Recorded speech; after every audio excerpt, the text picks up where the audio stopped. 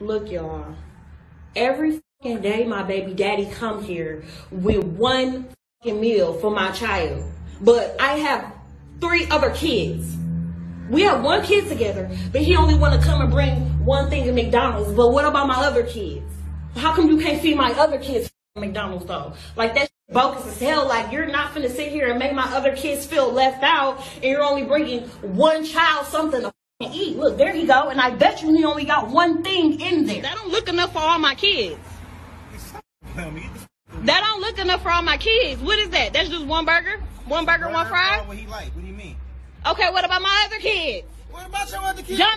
They Why the- Okay, but them your kids' siblings though. kids. What are you talking about? What are you Them about? my kids, them your kids' siblings though. So what you So he finna, my other kids finna be left out. You didn't feed them? You know I don't get my food stamps to